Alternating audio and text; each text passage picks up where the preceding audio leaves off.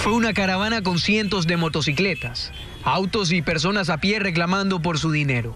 En Quevedo, provincia de Los Ríos, se vivió un miércoles agitado luego de los allanamientos registrados durante esta madrugada por una presunta captación ilegal de dinero a través de Big Money, supuesta compañía de Miguel Ángel Nazareno. Son casos de personas que han invertido miles de dólares con la promesa de obtener una ganancia del 90% de interés. La cifra rebasa por mucho las tasas del sistema financiero formal. En el centro de Quevedo hubo personas aguardando por una respuesta sobre lo que ocurrirá con sus fondos, pero también gritando frases a favor del investigado. Impotencia de ver que a una persona humilde, porque son todos humildes, y mire, ver que los persiguen como que fuera un corrupto. Y todos somos comerciantes. Pero al momento de la hora de que uno queremos, queremos invertir, no tenemos dinero.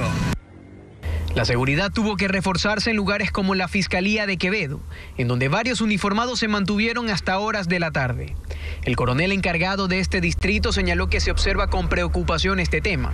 Durante los operativos de la madrugada, un vehículo de la policía fue afectado. Un auto de, de nuestro eje de inteligencia fue atacado aparentemente por una bomba incendiaria que generó su incineración.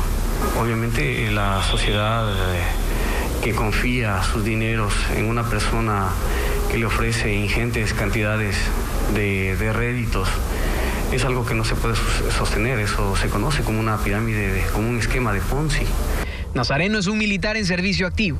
Por eso las Fuerzas Armadas también se han manifestado sobre su situación. Efectivamente, el señor Miguel Nazareno, a, partir del 7 de julio que él se encuentra falto a esta institución, Sí, él a través de su representante legal, una abogada, ha presentado su solicitud de baja voluntaria. Al momento el mencionado se encuentra en un proceso administrativo se encuentra falto a esta unidad por 23 días. ¿Es cierto en que miembros de las Fuerzas Armadas también serían clientes de él? No le podría, no le podría ni, ni negar ni certificar, ya que es una situación netamente particular.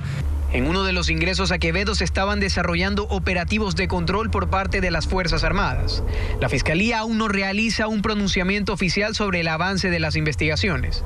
Nazareno no fue detenido en el operativo ejecutado.